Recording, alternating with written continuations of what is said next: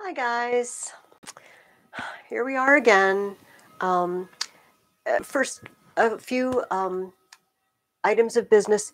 If you cannot hear me, if you stop being able to see me, would somebody please either call one of my phones or text me and clue me in so I can fix whatever the problem is?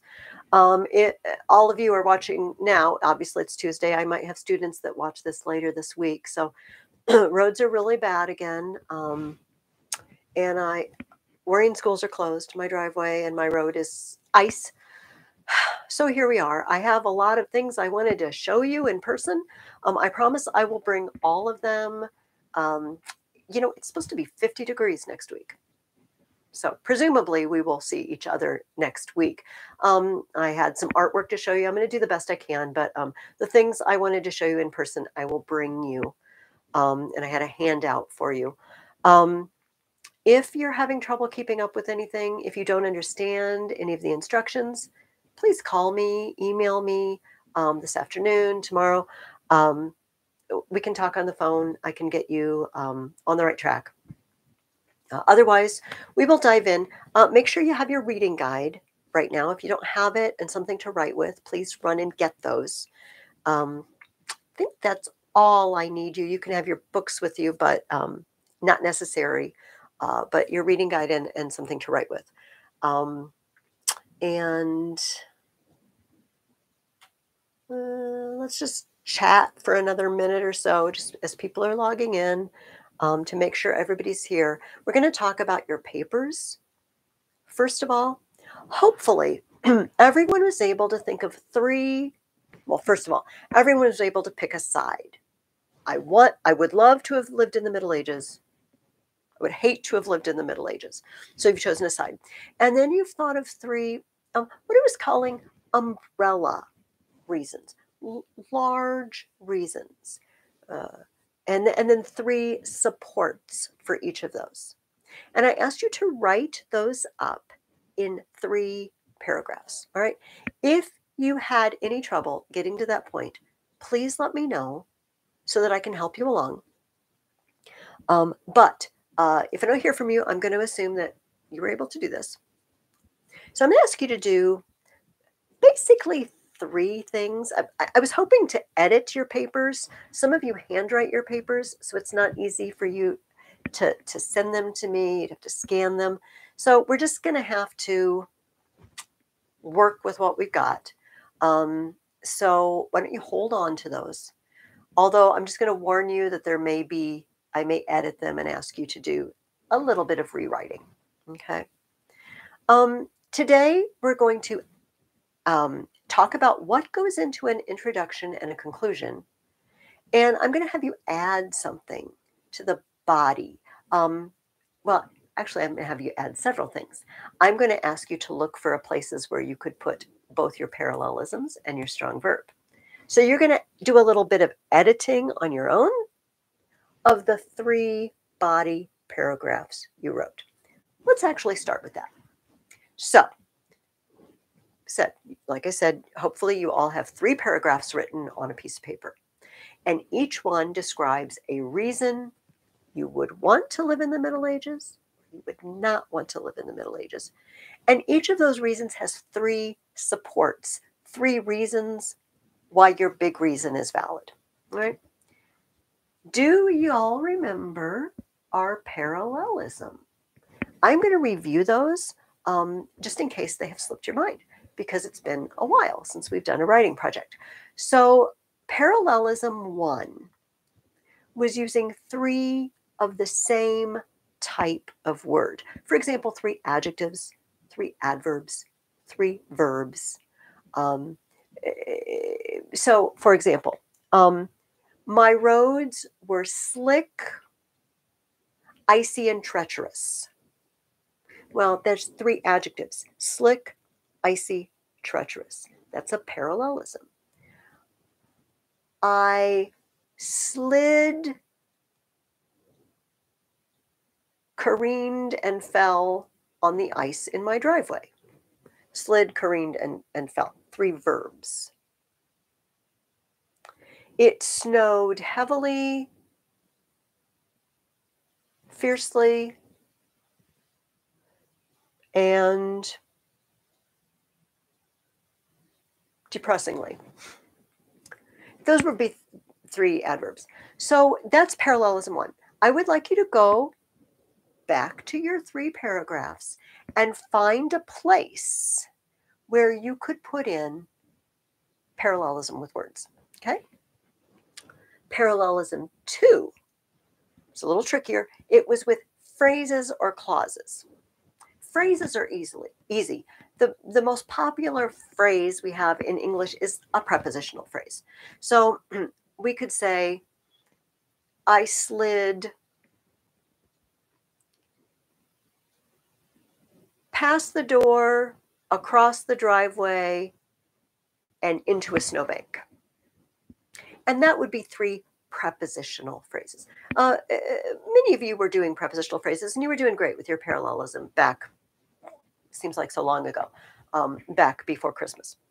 Uh, we can do clauses. Remember, clauses have a subject and a verb. Sometimes the subject is is understood. Um, it's it's not written actually every single clause. Um, sometimes it's present. So let me give you an example. Um, the snow fell on the roads, blocked the traffic, and caused many accidents. Now I have three clauses, so to speak. The the word snow is the subject of all of those. I just didn't write snow every time because that would be repetitive. The snow fell on the yards, the snow fell on the roads. I don't even remember what I said now. Um, here's another example. When it's cold and icy outside, when chill winds are blowing ice crystals into your face, and when the roads are impassable, it is a lovely thing to sit at home and drink cocoa. Now I have three when clauses. I we've talked about this numerous times. If you have any questions about that whatsoever, please please contact me and I will give you more examples. So I would like you to look in your paper and see somewhere else where you could put a parallelism too. So now we have three, somewhere where you have three of the same sort of word, three verbs adjectives, adverbs, whatever. And three, phrases or clauses somewhere. All right. Also, we were using the strong verb. Remember, a strong verb simply means a verb that's more descriptive. So, for example, I fell on the ice. Uh, all right, that's that's okay. That's not bad. But um, I tumbled on the ice. That that gives me an an image of being just completely out of control. I can see your arms and legs waving wildly while you're trying to save yourself from slipping. Um, I wiped out. Uh, that's that's a verb and an adverb, but we usually use them together, and uh, that's pretty descriptive too. It means it was pretty spectacular. A wipeout is pretty spectacular fall. Um, the, the, examples I used are um, uh, said, have, um, walk. Uh, these are all uh, sort of humdrum verbs. They're grammatically correct. They're just a little humdrum. So see if you can find a verb somewhere in the three paragraphs that you've written. That's just not as descriptive as it could be. And see if you can find another verb that is more precisely describing what you want to communicate. All right? So you might be talking about a tournament and and the knight's uh the, the knight sometimes falls from his horse. What does he do? Does he tumble? Does he wipe out? Does he you can you can substitute so we're looking for those things we're adding a new one because you guys have been so great with um, in the fall with those three. I think it's time for a new one. We are adding the simile. Now, I really wanted to be together to do this, and maybe we'll do some uh, examples next week when we're together. I'd like to get some feedback from you. Um, a simile is when we compare two things um, using like or as. We say one thing was like another, or one thing was as something as another. The sun was as bright as, well, let's do it the other way. The, um, the polished dishes were as bright as the sun. You know, that I'm describing the polished dishes, uh, comparing them to the sun. Here's the trick about similes. We don't want to compare two things that are exactly the same. My my beagle was like a basset hound. No, no, they're they're practically I know they're not practically the same thing, but they're close enough. Um, my beagle was like the faithful follower of a king. Now you're the king or queen, and the beagle is is your faithful. Is my, my beagle was like a like a medieval vassal. All right. What does he owe you? He owes you love, right? And tail wags. There's no other way. Your dog is like a medieval vassal or the follower of a king. He doesn't wear armor. I'm assuming. He doesn't, uh, you know, go to war. What does he do? He follows you. He he's always ready to do what you want done. Right. So there's only one way they're together. Uh, one way they're similar. We don't want to compare things that are exactly the same. So you know, my sweater is as soft as a cloud technically. I don't know how soft clouds are, but uh, what ways is my sweater like a cloud? It is not white. It does not rain. It does not blow away with the wind. This is good. It is just simply soft. All right. We could say uh, a cotton ball or something like that, something soft. but we wouldn't say, this sweater is as soft as my sweatshirt. Your sweater and your sweatshirt are practically the same thing. It's tricky. So I would like you to look at what you've already written and see if there's somewhere you can put in a simile. Can you compare a knight jousting to um, Oh, the jousting knights were like two lions fighting over uh, domination of the pride. All right. How are they like lions? They're fierce. Do they have manes? No. Do they have fur? No. Do the knights have claws? No.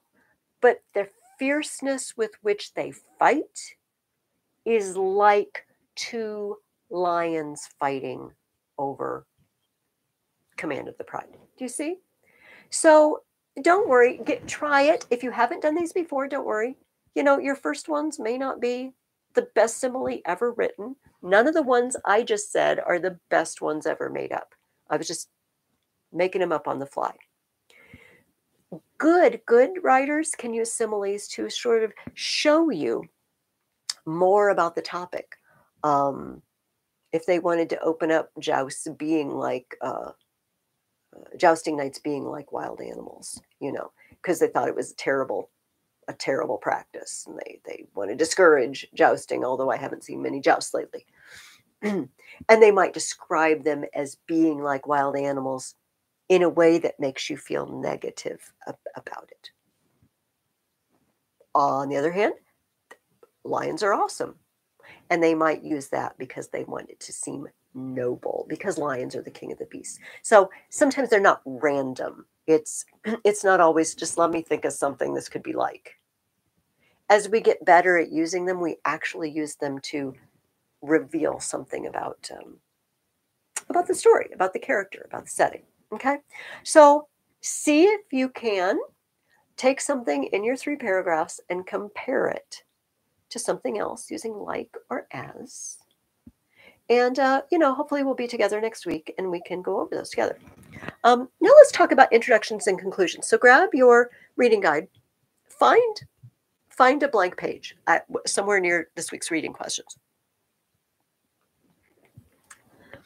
I also want you to write this week an introduction and a conclusion. So I'm going to stand up here, do my whiteboard. I'm sorry, this is a very, I have a narrow, a very narrow place to stand here. Okay, so some of you have done this before with me. Some of you, this is brand new, but um, you know, we can all use a review. Um, so the reason we add an introduction and a conclusion is this. If somebody were to pick up your paper and they just, the first sentence was, I would hate to live in the Middle Ages because it was smelly, dirty, and and and and uh, full of illness. Ooh, and that's a parallelism.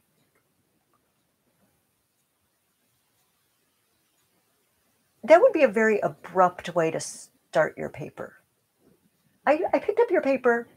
It's not me. Okay. It's just some random person reading your paper. And I didn't even know what it was about. And suddenly I just got hit with your first topic sentence.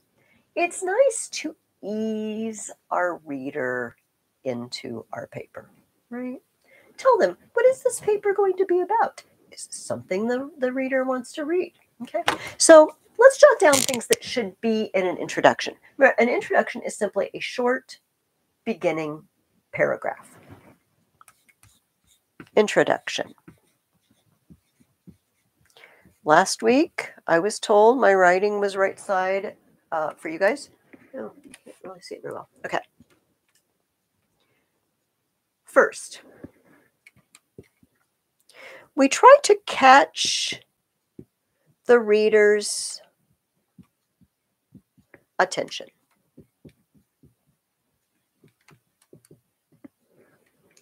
All right.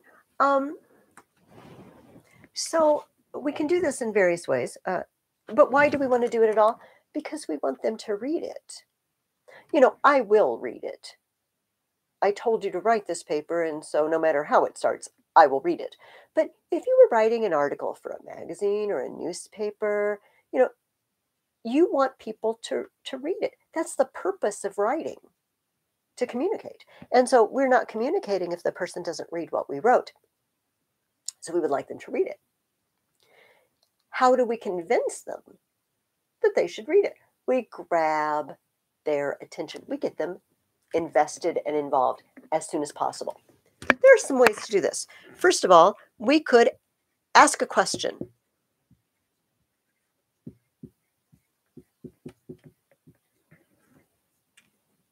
Now, if I say I wanted to live in the Middle Ages, okay, that's the side I chose, I might ask my reader a question like this Wouldn't it be amazing to live in a time of castles, beautiful damsels, and strong knights? Oh, and there's another parallelism. Now, they're not going to answer you. This is a what they call a rhetorical question, but it gets your reader thinking, right? Um, it makes them think, oh, yes, I would. Tell me more, please, about these castles and damsels and knights. Conversely, if you chose, I would not ever in a million years want to live in the Middle Ages, you might start your, your introduction with,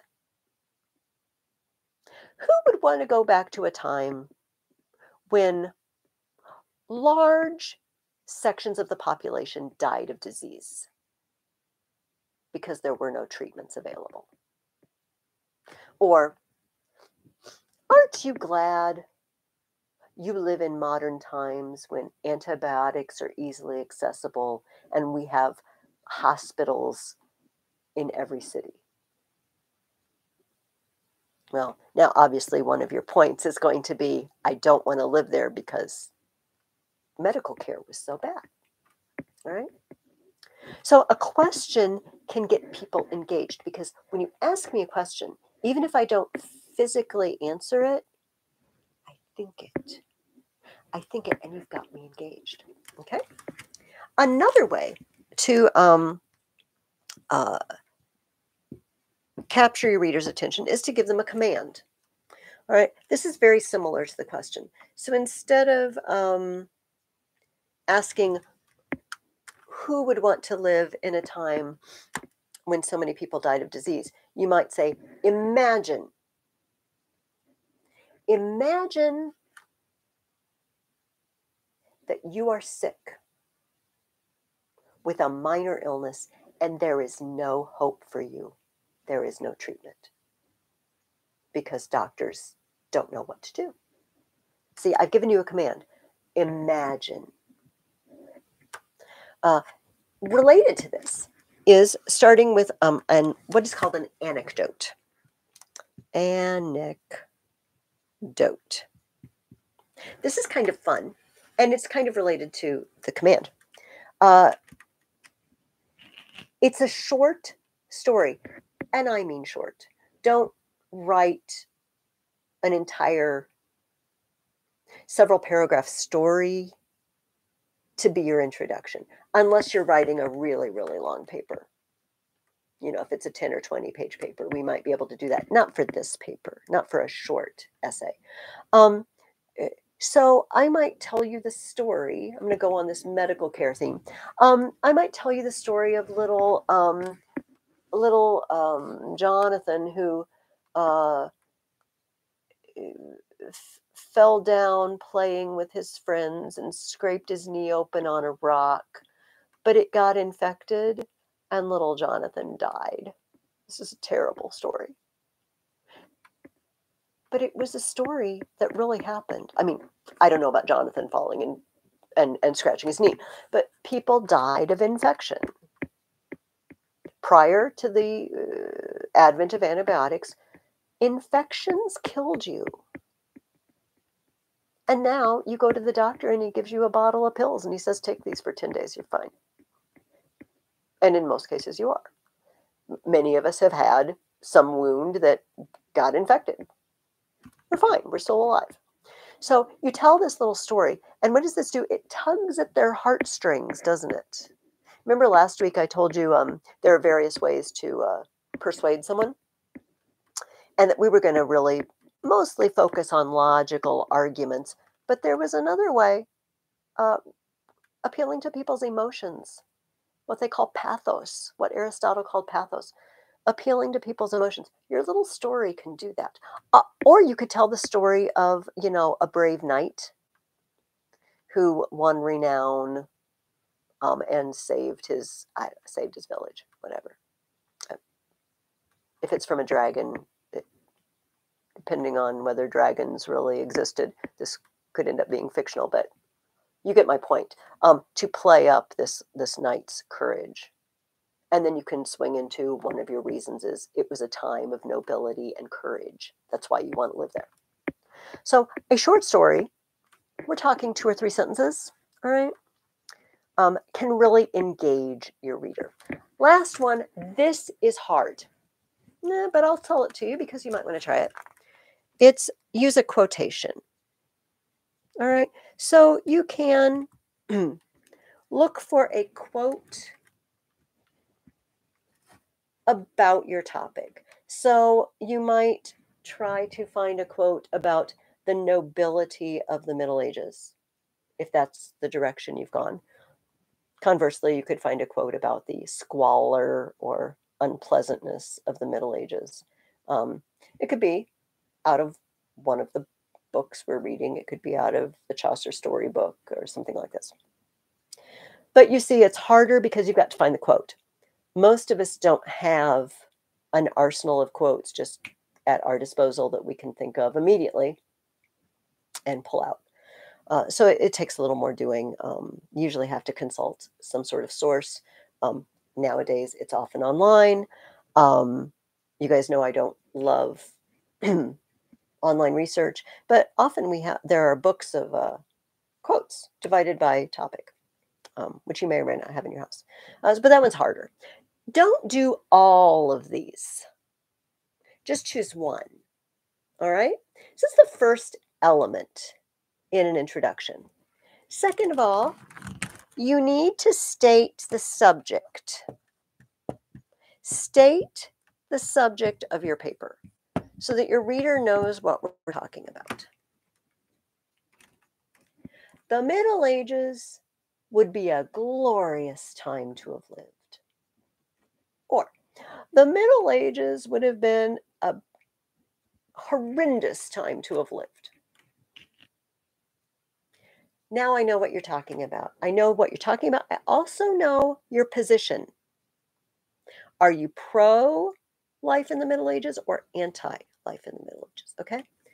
Then the last thing I want you to do in your introduction is state your three reasons.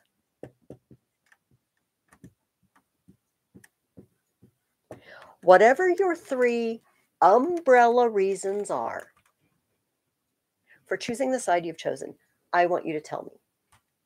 All right? This is the point when I would say, Are there any questions? You can't ask them. So I will say, If there are any questions, please, you know, uh, later this afternoon after I'm done teaching, you know, call or email. I will um, answer any questions. Okay. So your first task is I want you to write an introduction for the paper that you wrote the three paragraphs for last week. Right.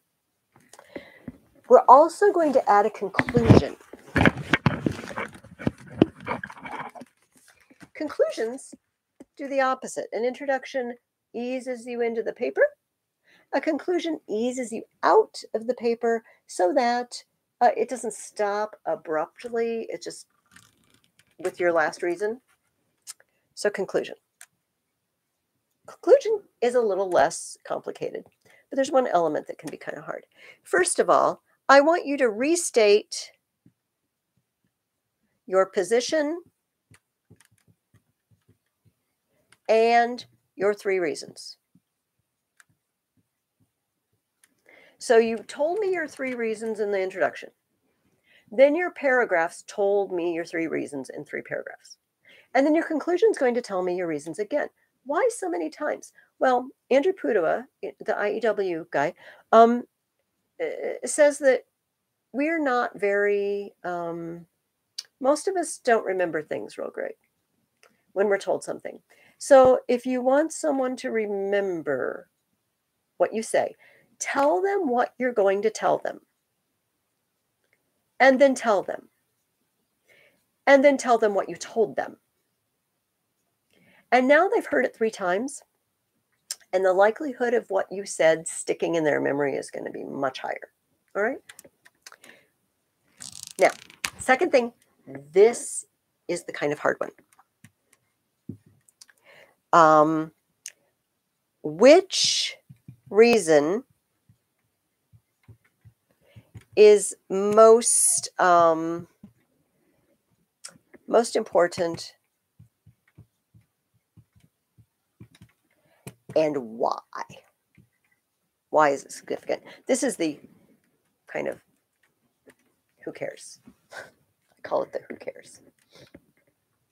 So perhaps one of my reasons for not wanting to live in the middle ages was the the medical care that we've been talking about and to me See, this is your opinion. Which one is most important? To me, that's the, that's the kicker. I could live with um, wars. Could live with you know um, bad living conditions, cold, you know, hovels or uh, cold castles, dark, that sort of thing. But it's the medical care that gets me. And I might say something like, uh, uh, while while poor living conditions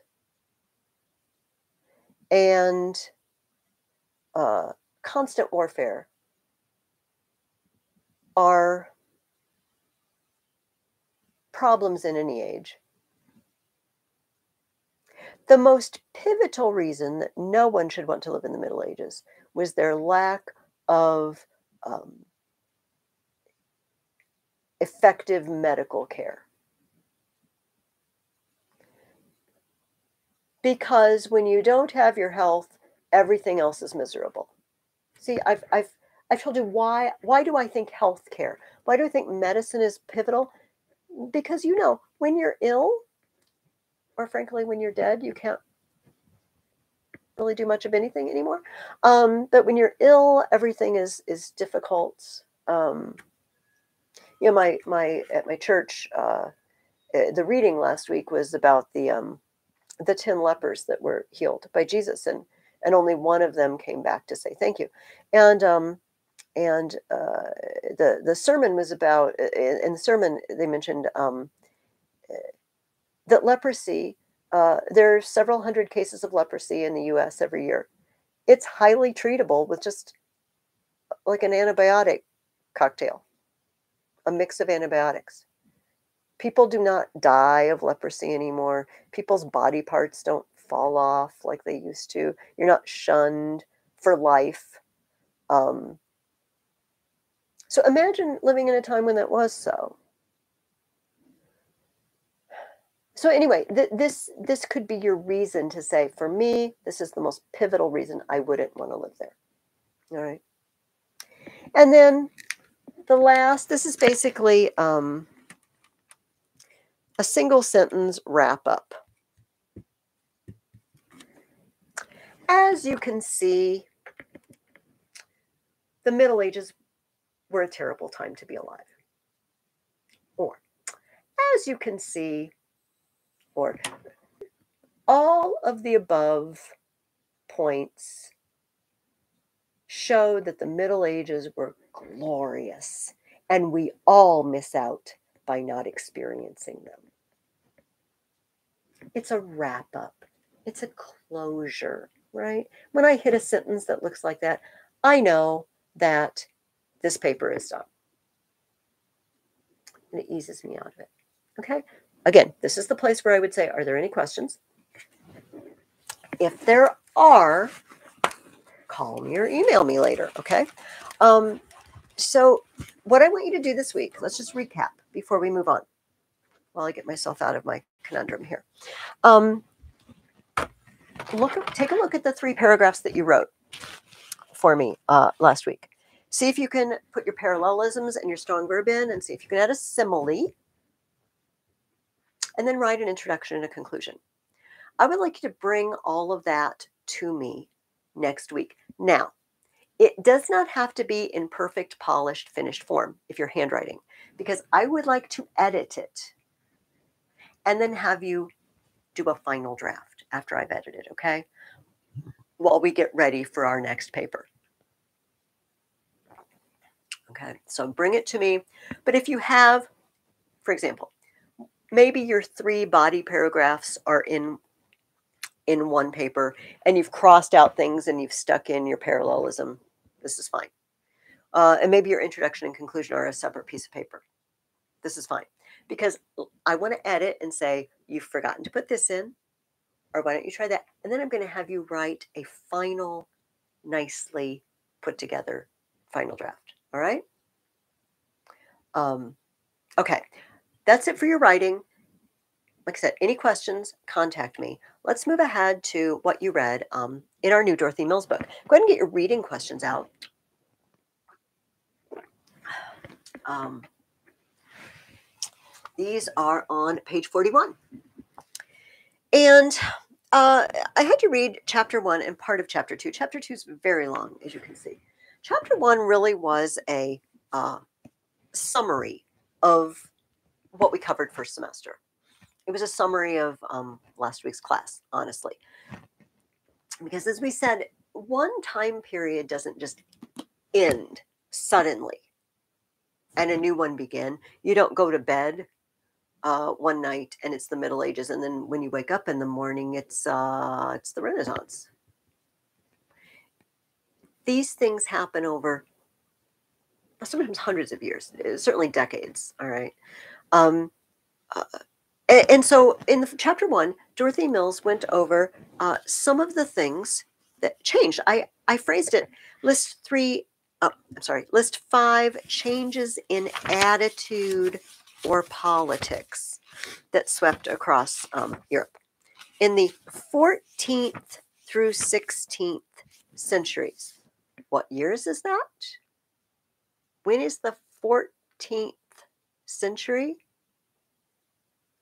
Remember, it's the 1300s.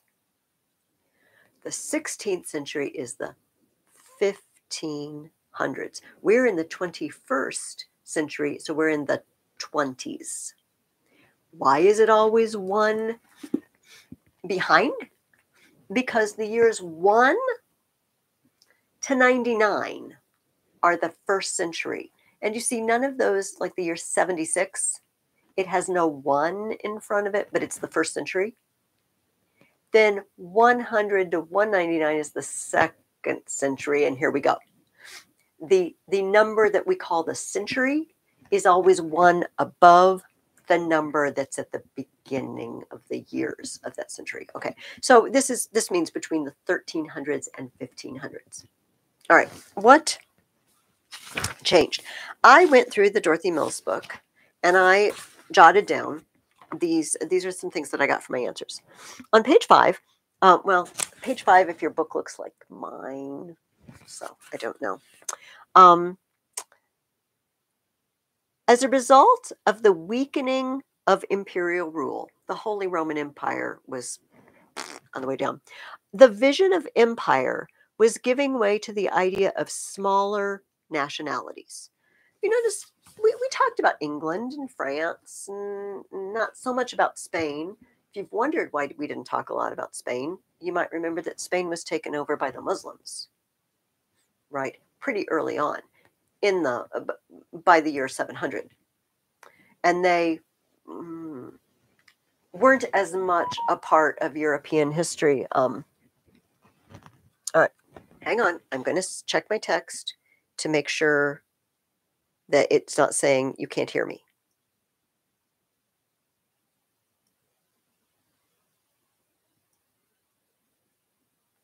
oh no we're, good. we're good all right Uh, but we, we talked about various nations, but the overarching power was the Holy Roman Empire. This is uh, this is uh, what is today Germany, Austria, uh, um, Eastern Europe, uh, part of France, um, Switzerland, part of Northern Italy. Uh, huge, huge power. But many people didn't think of themselves as this particular nationality. They thought of themselves as just part of Christendom, part of the church. Obviously, England versus France started breaking that apart. But remember, we're talking about 1300s to 1500s. 1300s is when England and France are fighting. So, and, and 1400s, early 1400s. So, eh, you know, when you're, mm, it's us against them, English versus French, you start thinking, we're, we're a unit, we're Englishmen, or we're the French, by golly, and we hate those Englishmen. Instead of thinking, but we're all Christians, we're all part of this big thing called Christendom. Mm-hmm. We're starting to think of ourselves as individual nations. This is one change, one shift. Okay, the second one I noted, well, I also noted gunpowder we talked about that last week. Um, when men began questioning the rightness of the temporal interests of the papacy, they soon began thinking of its teaching and asking for a return to a Christianity free from the tangles and intrigues of worldly affairs. What does this mean? The temporal interests of the papacy. The papacy is the pope. Temporal comes from the word Latin word for time. And the time means the time here on earth. Temporal means earthly, worldly. The church owned land, right? The church had vassals. The church was sort of a political mover and a shaker. And people started saying, mm, I don't know if it's supposed to be that. I don't think that's its job. Not to mention, like we talked about last week, when I start thinking of myself as an Englishman or a Frenchman, I start to not be real wild about supporting something that's not English or not French. It separates me from it. Okay. A third one uh, I wrote noted that she mentioned is the invention of printing. We're going to talk about that a little more uh, later in the semester. But uh, if you have something to say, like Wycliffe, mm-hmm, about the church being good or bad. about England or France being good or bad. If you live in a time when every single book or um, flyer, do you know what I mean? Like the papers that people put up on bulletin boards and, and telephone poles and stuff for advertisements, you have to write each of those out by hand. You're not going to get very many of them written out. If you can print them on a machine, if you can print a thousand of them, if you can print 10,000 of them and distribute them, people are going to know fast what you think and you can mobilize people quickly. It changes, it really changes things. Not to mention, she said it changed education. When I can get my hands on a book that doesn't cost, I don't know, half a year's wages, you know, the faster we can print them, the more we can print them, the more common they are. The more common something is, the cheaper it gets. I'm more likely to, to learn to read or teach have my children learn to read because there's stuff for them to read. Not to mention that there are more books for school children. There are more books available for them to learn to read from. Okay, so that was huge. Um, the next one I marked was um, goes along with the first one. Im- growing sense of the importance of the individual and of the national state. And men began to write more in their own languages in English, French, Italian, and Spanish. Not only am I thinking of myself as an Englishman, but I'm thinking of myself as an individual in England, um, not just part of, uh, I don't want to say, like a cog in the wheel. The medieval feudal system was lovely in some ways because everybody knew where they belonged. Everybody knew I'm a vassal. Um, these people are vassals to me. I'm a vassal to this person. I know where I fit in that's kind of crumbling apart now. And people start to look at themselves and say, you know, I'm not just a, a link in a chain. I am not just a cog in a machine. I'm an individual with hopes and dreams and aspirations. And uh, and as people, as authors and poets, start writing in the language you can read, because maybe you haven't been to school and you haven't learned to read Latin. Latin was still the the language the going language of, of um, people who wrote acad- on academic subjects and literature. But as more is available, you know, and, and, and, and this literature or poetry starts to feed that sense of, but I'm an individual. What about me as a person? Maybe my goal in life isn't to be a vassal to this person. Maybe I have another goal. All right. The next one I marked is this is huge. We will talk about this more uh, later this semester. Discovery of the New World, discovery of the Americas. Now, you just cannot, I don't think we can even imagine the importance of this for, for the mindset of Europe. They didn't know. There were people on the other side of the world and people living very differently they knew about Africa, but only Northern Africa, right? Pretty much because um, the Sahara Desert keeps you from traveling south by land. And until uh, the 1400s, there wasn't a lot of exploration down the coast of Africa and around the bottom of Africa. They didn't really know what was there. They didn't know how far south it went. But they knew there was a, a landmass there, and they called it Africa. They just, it was unknown to the south. Asia, they know. We talked about Marco Polo. People had traveled. People had been coming from uh, Asia for centuries. You know, the barbarian tribes all came from that direction. And of course, Europe. And for a long time um, in the Middle Ages, they really thought there was no land on the other side of the world, that it was all ocean. But when they discovered not only is there land over there, but it is peopled by people that that speak different languages and live, like I said, exceedingly different types of life than everyone around the Mediterranean. This was mind blowing. Um, so we will we will touch on that more um, not only was it, it, it changed their mindset, but they started importing things from the New World, right? Um, not only ideas, but actual items, food items, and we'll cover that more in a few weeks. Uh, the next thing I marked was I already mentioned printing was invented. And uh, here's what Dorothy Mills says. I'll just read her. In 1453, Constantinople, which for a thousand years had stood as a bulwark against invaders from the east, fell into the hands of the Turks, and scholars and artists came fleeing into Western Europe, bringing with them manuscripts and a knowledge of Greek, which opened up new realms of thought to the men of the West. All right.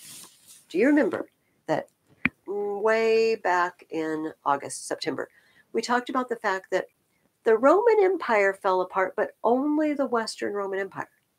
For another thousand years, there was a Roman emperor in Constantinople. He called himself the Roman emperor. They called themselves Romans. The people in Turkey, the people in Greece, they called themselves Romans.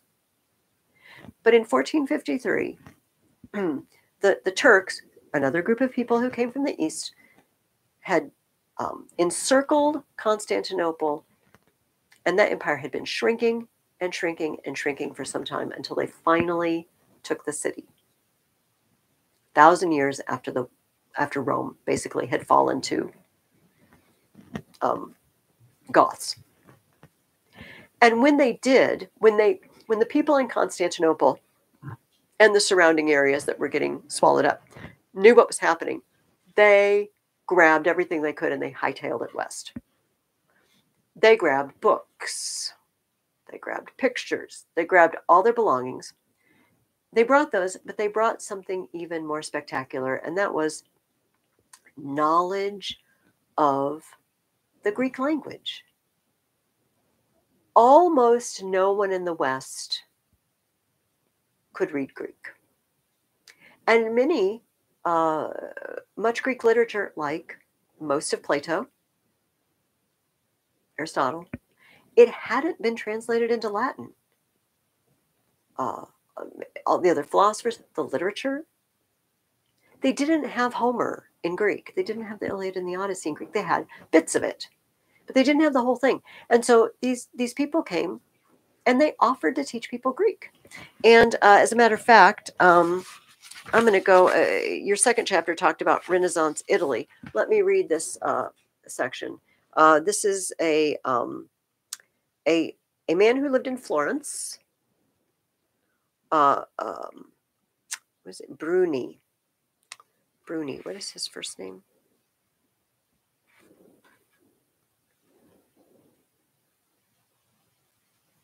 Why can I not find it?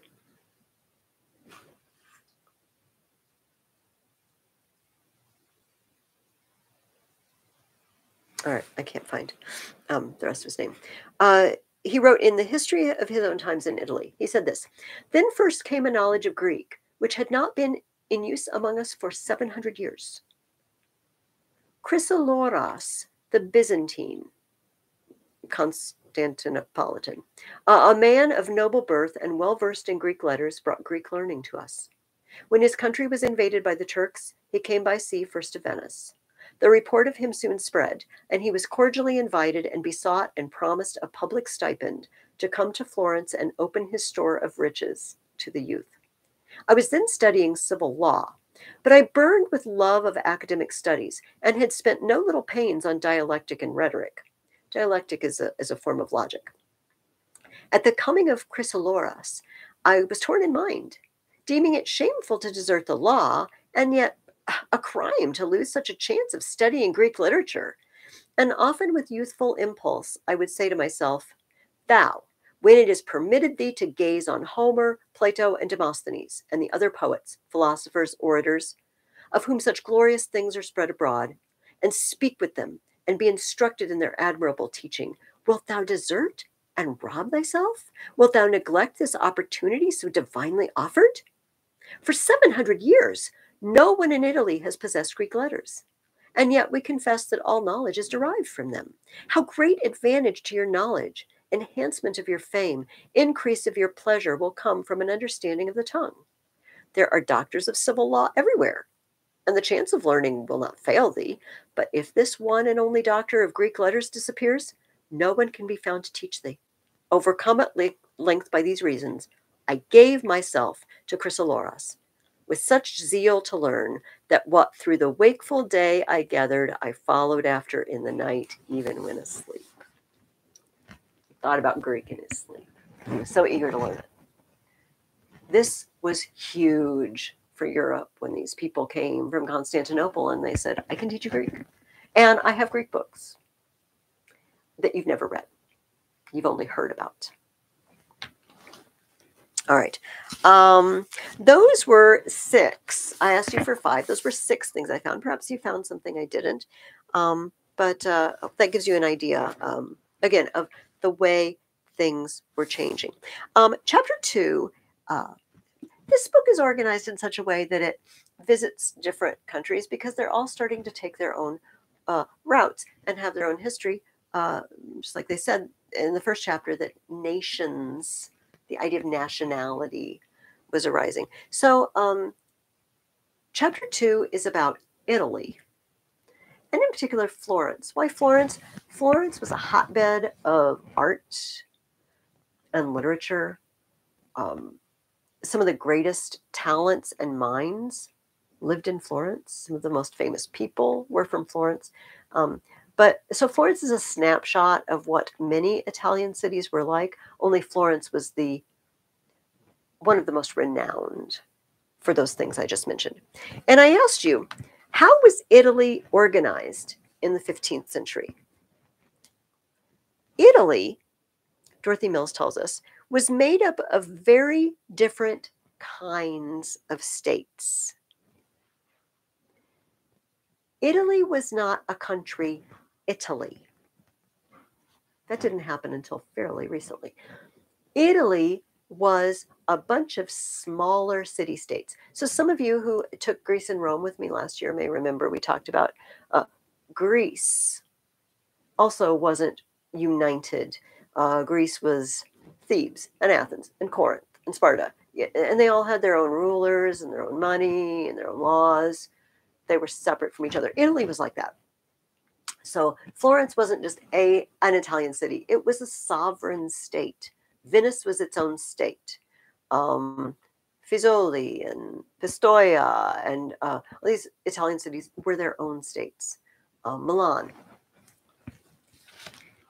Um, and I asked you what family unofficially, without any political office, ruled Florence. This was the Medici family. The Medicis were bankers. The Medicis were just wealthy, um, well known citizens of Italy. But through, uh, I don't know, deals under the table. Do you know what I mean? Um, sort of in private, arrangements with other people in private that they might lend money to the government, that they might put their stamp of approval on certain laws. They sort of took over.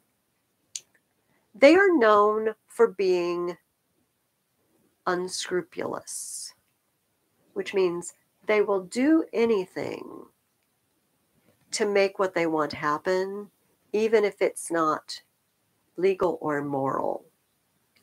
They weren't all horrible, but a lot of them were.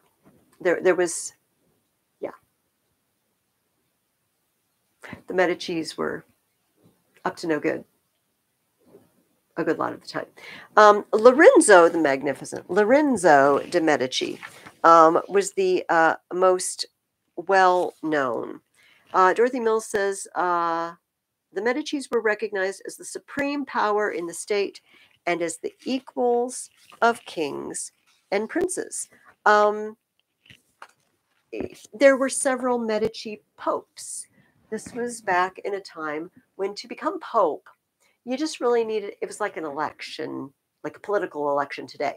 You know, you need, if you get enough votes, if you get enough support, you're in. And the Medicis had had the connections and they had the pull. so they could get family members pope, uh, made pope. Unfortunately, the, the family member might not necessarily care anything about the church, which is another reason why people started looking at the church and saying, "What should this person be in charge of an institution uh, founded by God for the spiritual good of, of people?" I don't know. Um, I actually have. see if I want to do this now. Yeah, let's do this. Um, I have pictures. I'm going to hold them up in front of the camera, but I think I will probably bring um, bring these to class next week. Um, this is Florence. This is a picture of, of the cathedral in Florence today. Isn't it absolutely gorgeous? Um, some of this, parts of this building go back to the 1300s. It's been added on and, and you know, renovated. I really hope I get to go see this in person someday. Florence is on my must stop list if I ever get to go to Italy. Um, and in uh, Italy, we're going to talk, in Florence, we're going to talk about some of the artists and writers and thinkers um, that you read about. Um, one of them, uh, well, actually, you're going to read about the artists this next week. All right. You're going to read about a bunch of artists. And for the next few weeks, I'm going to bring in samples of their art for you to look at. Um, one artist you're going to read about, I will read, bring some more of in, is named Botticelli. Sandro Botticelli was from Florence. And um, I, I brought in a couple of pictures. Uh, he, he did a lot of, um, he did religious paintings. He did paintings uh, based on paganism, like uh, you know mythological mm, personages, uh, but he also did um, uh, just portraits. And here are two. These are young young men from Florence. We do not know who they are. Let me see. Two young men from Florence. And the next one, okay, this guy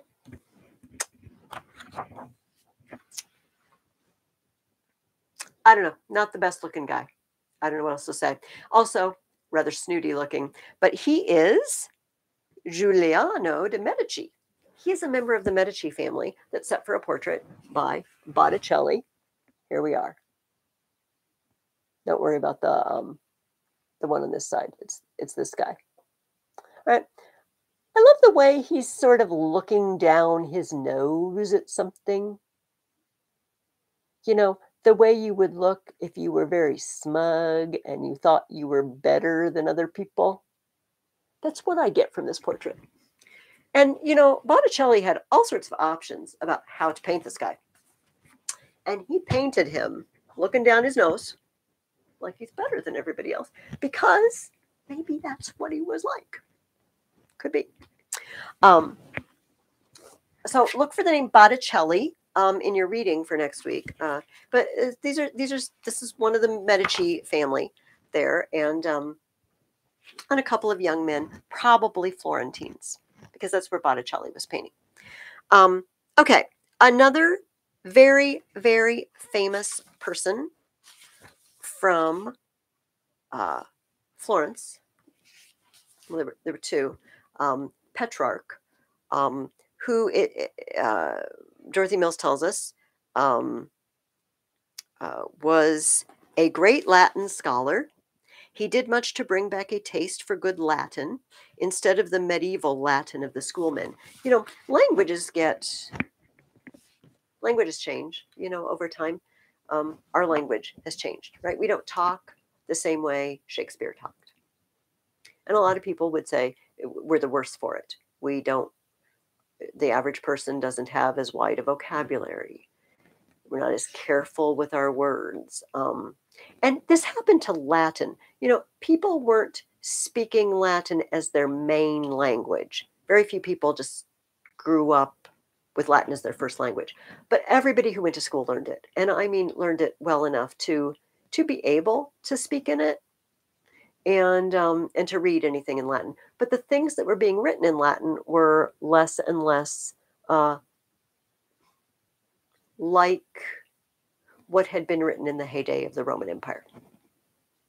The same thing happened to Latin. It got, uh, you know, different vocabulary crept in, and people started ignoring certain grammar rules, like we're doing.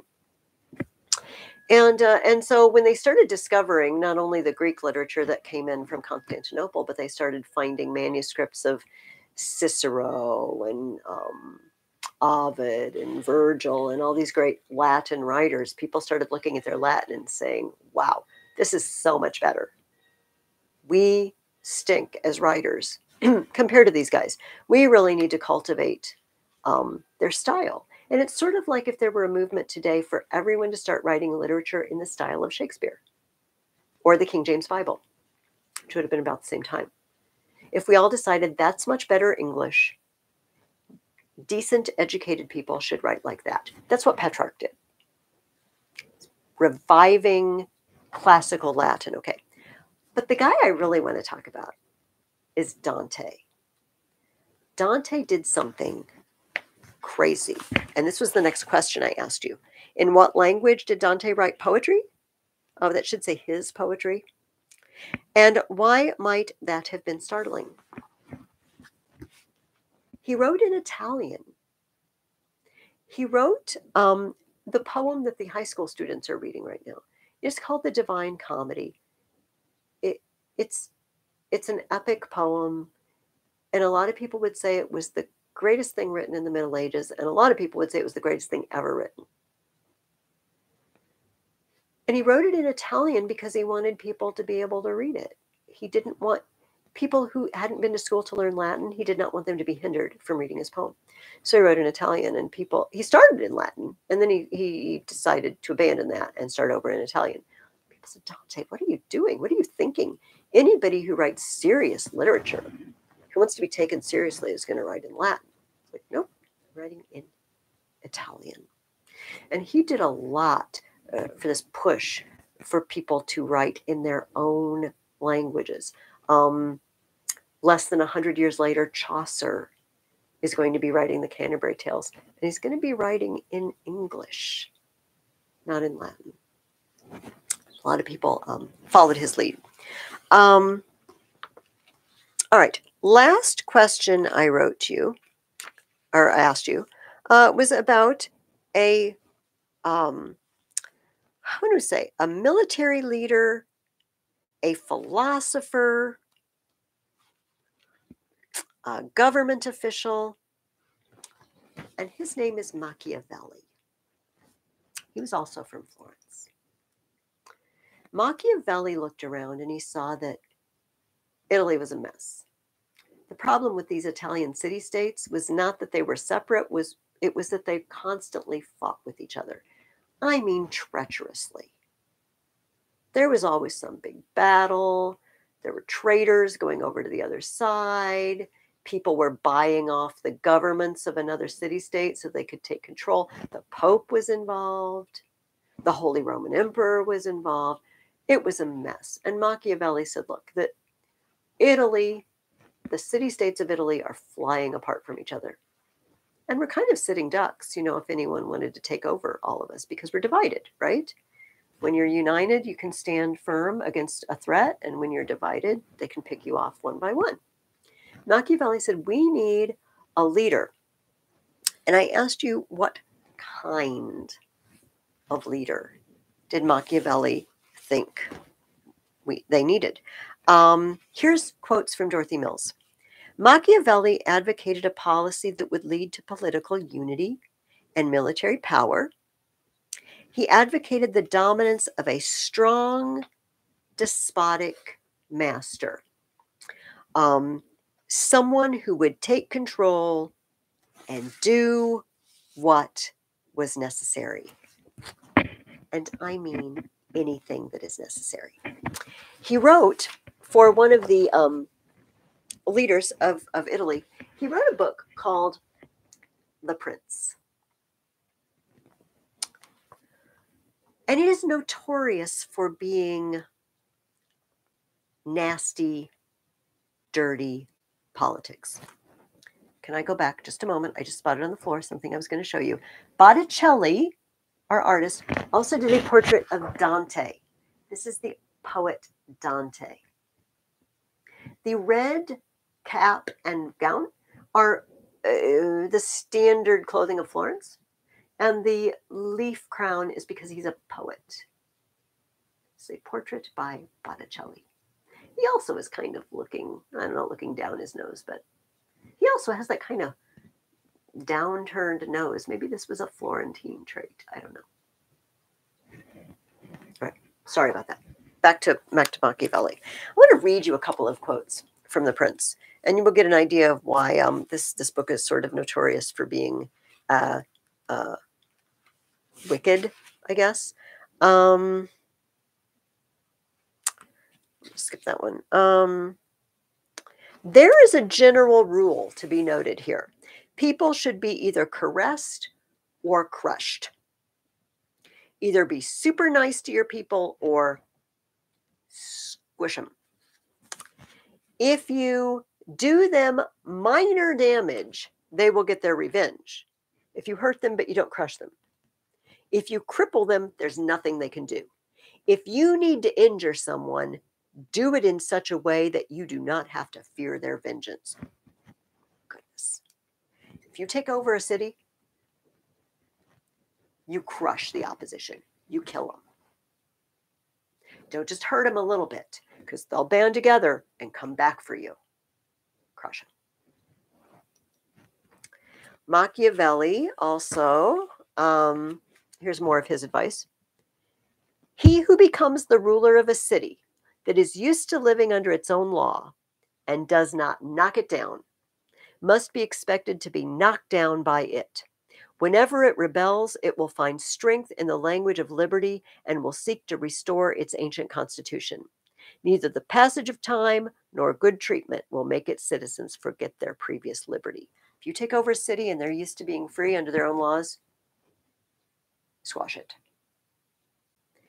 if you let them continue to live under their own laws, if you let them be free in any capacity, they will remember their time of freedom and they will come for you. They will rebel rebel against you. Um, he says um, at this point, he's talking about more crushing. I do not intend to discuss in detail the rights and wrongs of such a policy. Is it right? Is it wrong? Don't care. So says Machiavelli. Do it. If you want to keep power, do it. If you want to keep the peace, do it. Don't ask yourself whether it's right or wrong. All right, finally. If you take control of a state, you should make a list of all the crimes you have to commit and do them all at once. Do all the harm you must at one and the same time. That way, the full extent of it will not be noticed and it will give least offense. One should do good, on the other hand, little by little, so the people fully appreciate it. Whatever you have to do, whoever you have to kill when you take over, do it. Excuse me. Do it in one fell swoop.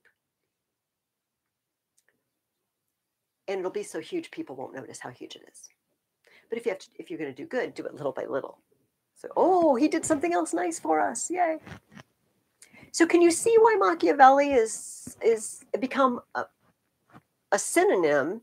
Uh, he's a he's a, a comparison for evil, wicked politics. We call such politics Machiavellian. You don't care whether it's right or wrong. You do what you have to do to, to maintain power and keep the peace, no matter what that is. Machiavellian. He is also Florentine. So next week, I would like you guys to finish. What are we doing? Finish chapter two. You're going to read about some re- early reformers in Italy. You're going to read about many, many artists, like I said. And I'm going to be bringing in, it's too much to look at in one week, but I'm just going to bring in over the next, I don't know, four to six weeks, uh, representative samples of some of the artwork of these people. Some of them you're going to recognize their names Leonardo da Vinci, probably. Um, some of them are going to be new to you. Uh, but we'll take a look at some um, some of the great artists of the Renaissance in Italy. Um, okay, so so far we have finished chapter two in Dorothy Mills. We have um, introduction, conclusion, and add your, um, you know, parallelism and simile and all of that to your papers. All right. Last thing uh, for next week, you are finishing The Hobbit. Uh, I hate, I absolutely hate that we have yet to be able to sit down and discuss The Hobbit, uh, where I can ask you questions. But hopefully, we'll just do a lot of this um, next uh, next week. Um, I had these handouts for you, story charts, and we were going to talk about all the elements of fiction. Um, but we'll, we'll try to keep with it. Um, last week we talked about character. All stories have character, right? And and uh, we talked about, uh, in particular, Bilbo. We talked about what he's like. Gandalf, what he's like, and Thorin, and, and a bit what he was like. As you continued reading The Hobbit this week, we saw changes, or not necessarily changes, but new information, perhaps, about each of these characters. Um, the first one I'd like to talk about is Gandalf. And actually, this was from last week's reading. Do you remember um, when they went to see Beorn? Beorn is the guy who can shapeshift and becomes a bear and lives on honey and has animals that serve him and it's just all very odd. Uh, but he gave them tremendous help. He didn't believe them at first. Right? He said i'm gonna go check it out. I don't believe every every stranger's tale. You guys sit tight. I'm gonna check it out. And he went and he found out yes indeed they did kill the goblin king. Their story is true and he says well i like you even more now that i know it's true and he gave them help. He gave them ponies to take them to the edge of Mirkwood. And uh, so, but anyway, do you remember how Gandalf handled Beorn? He told the hobbits, This guy's a little touchy. He lives on the edge of the wilds. He doesn't live in a nice, peaceful area anymore. There's goblins on one side, there's Mirkwood on the other side. He doesn't take any chances and he can be a little rough. So here's what we're going to do you're going to come a couple at a time. Because if, you know, 14 of us show up uh, on his doorstep, he might lose his temper. You might remember some of the hobbits, uh, uh, well, some of the dwarves and, and Bilbo said, well, should we, should we even go to this guy? It's like, oh yeah, yeah, I know how to handle him. What is Gandalf like? with, with Beorn. He's certainly clever, isn't he? He thinks of a way to manage someone who may not always be in the best mood. It's a little humorous what he does. Oh, oh, yeah.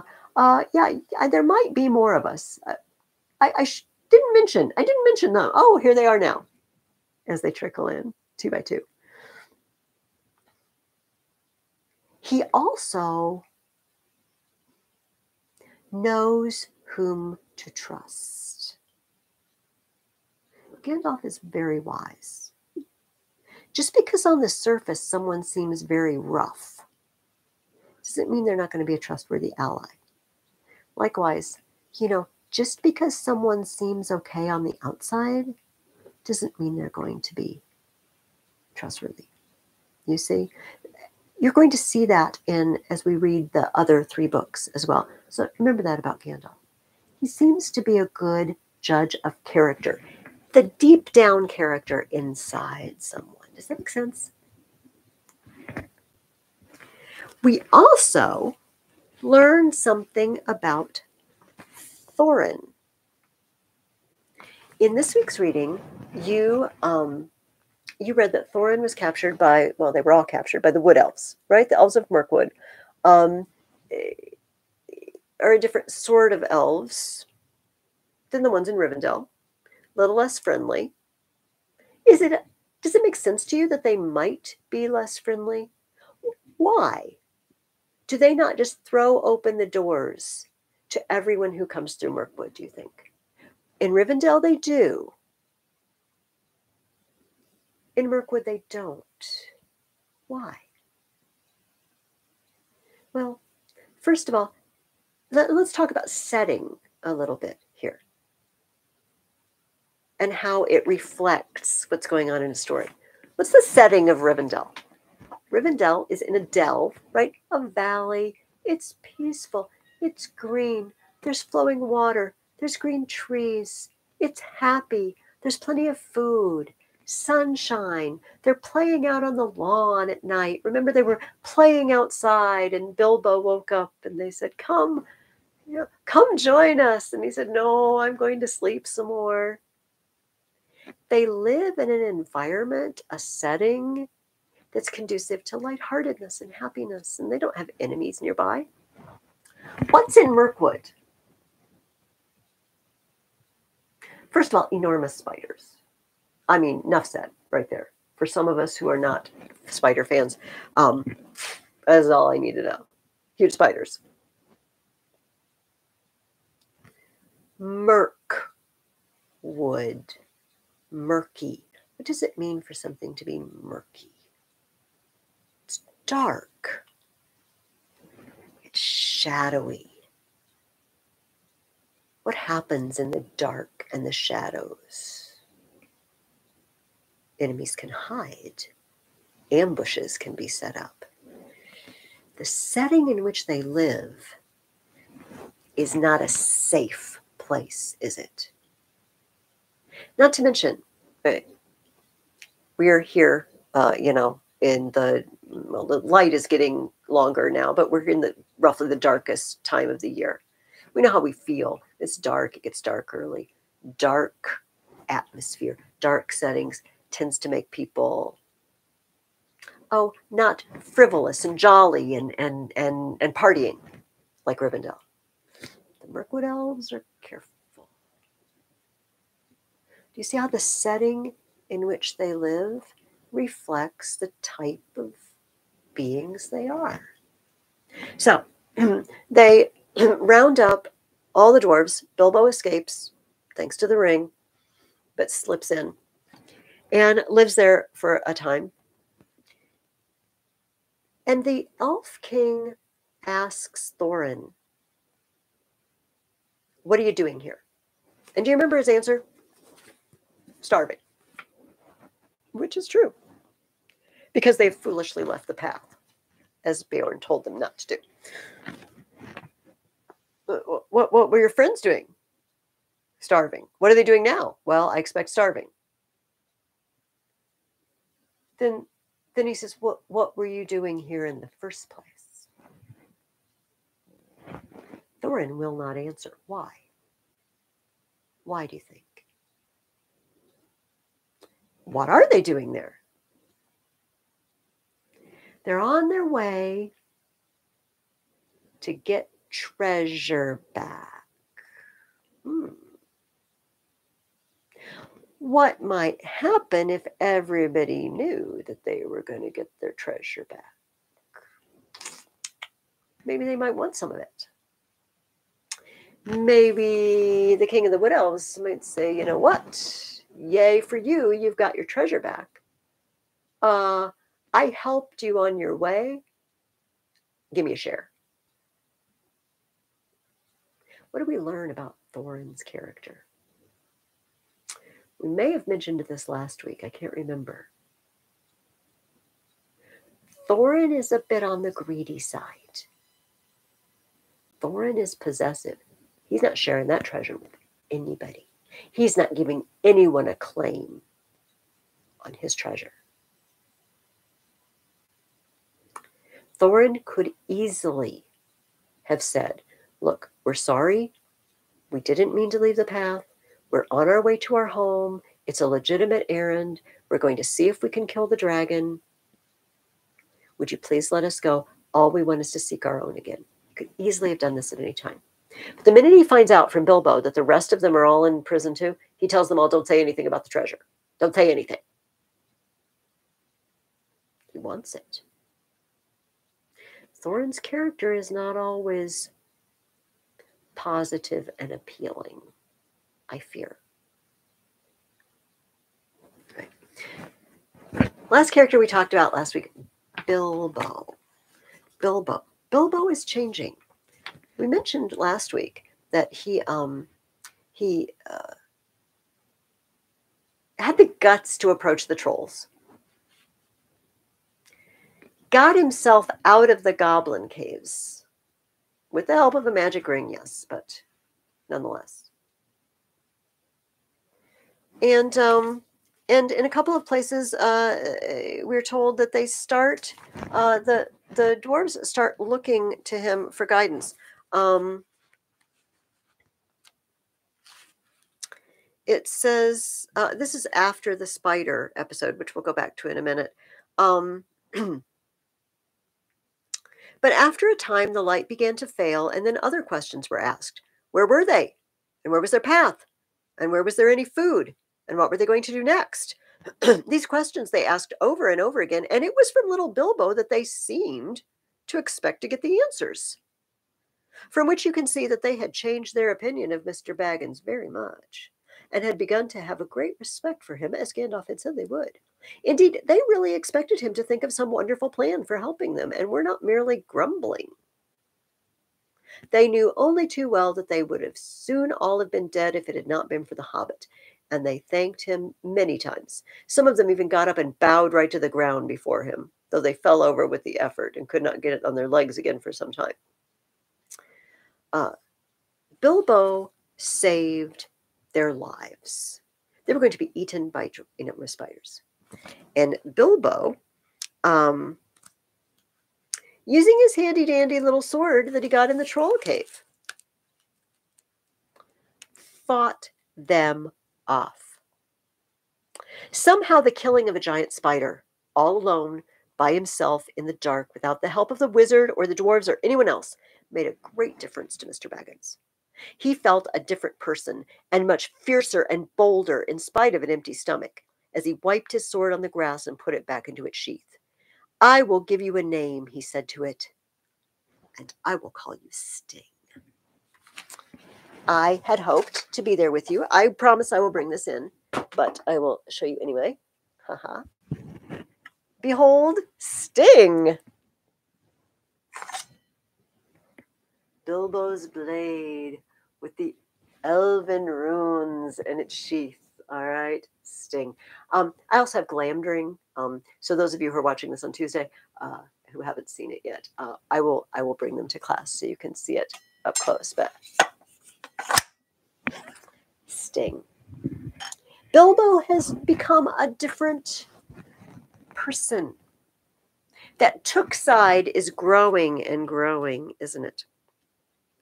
Um, and he is being relied on more and more. Um, when they um, get captured by uh, the Wood Elves and Bilbo is free, they say, Oh, well, get us out. Are you going to get us out of here? Do you have a plan?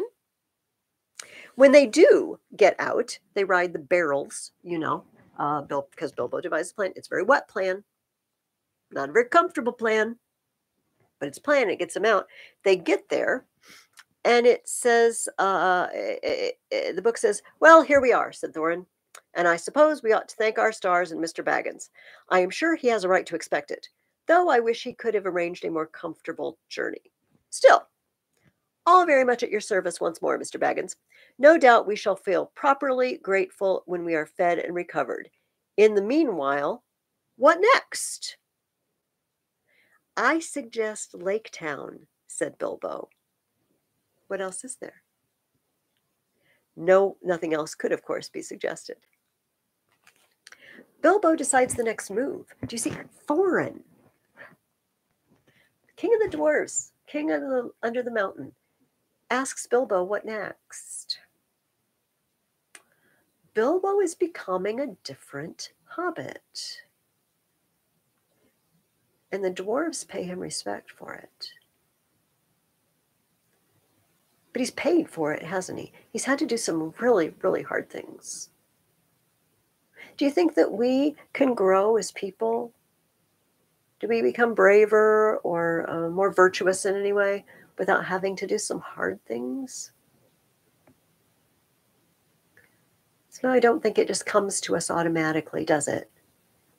Um, Bilbo faced horrors. He's stronger for it and he's more capable.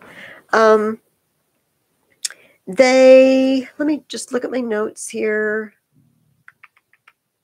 Yeah, they arrive in Lake Town.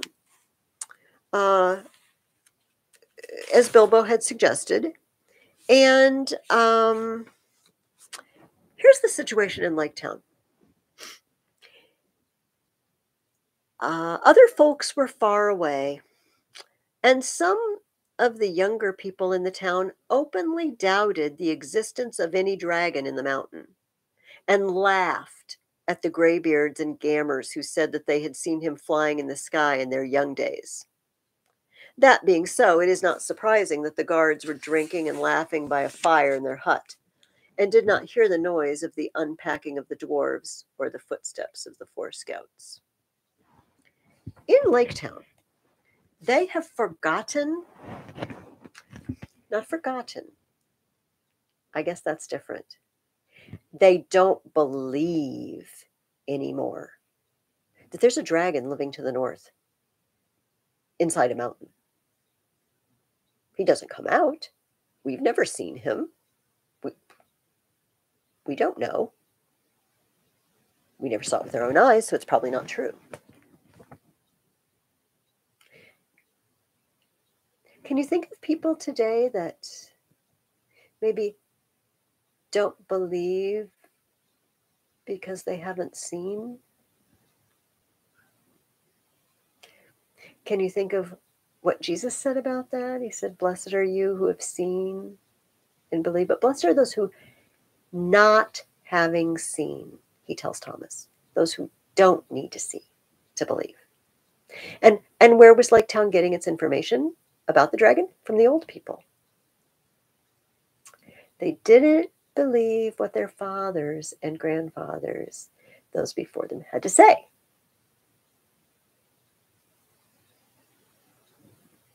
They don't think it's real anymore.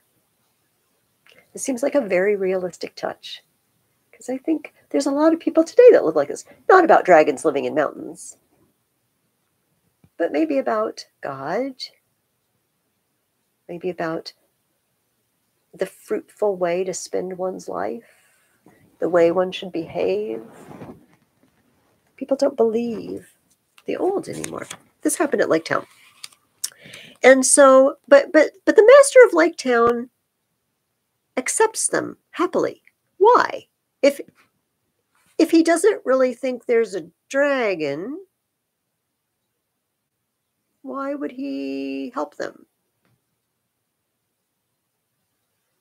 The master hesitated and looked from one to the other. The Elven King, because there's an elf there saying, oh, These guys are prisoners of my master. The Elven King was very powerful in those parts, and the master wished for no enmity with him. Nor did he think much of old songs, giving his mind to trade and tolls and cargoes and gold, to which habit he owed his position. Others were of a different mind, however, and quickly the matter was settled without him. What kind of leader is the master? Uh, he looks around and says, well, uh, "Which way is the wind blowing? What what do people seem to want? Uh, okay, let's let's go that direction."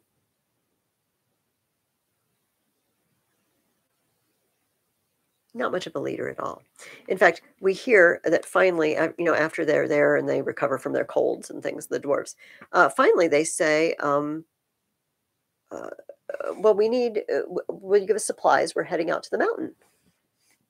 For the first time, the master was surprised and a little frightened, and he wondered if Thorin was, after all, really a descendant of the old kings.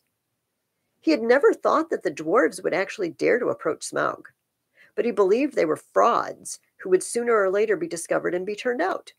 He was wrong. Thorin, of course, was really the grandson of the king under the mountain, and there is no knowing what a dwarf will not dare and do for revenge or the recovery of his own. People who just kind of roll with the wind and don't really believe anything are quite shocked when they are confronted with truth or they're confronted with people who do believe something. They actually believe it. It's actually true. They don't know what to do. So I want you to finish The Hobbit this week. And next week, oh, I can't imagine that we will have another wave of some horrible weather. Uh, surely I will be seeing my Tuesday uh, people in person next week. And I'd like to talk a little bit more about um, conflicts, which I didn't really talk about um, uh, this week. I'd like to see if we can pick out what are the main ones, maybe if there is a main one. You can think about that as you read. Maybe jot down notes, note various conflicts, and see if you can find maybe the most notable or important one for the story. And also a theme. Is there a is there a not a moral, not a lesson like an Aesop's fable, but a theme, something that is being explored.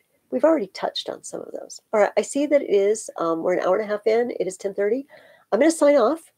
Uh, just like last week, give me five, seven minutes or so. Um, why don't you be back in five minutes, sort of waiting. If you are a Latin student, and um, you know, give me a chance to get some more tea and everything, and I'll try to be back in in five, six minutes or so. All right. The rest of you have a wonderful week. Let me know if you have any questions, and I hope to see you all next week. And I will be bringing weapons. Bye, guys.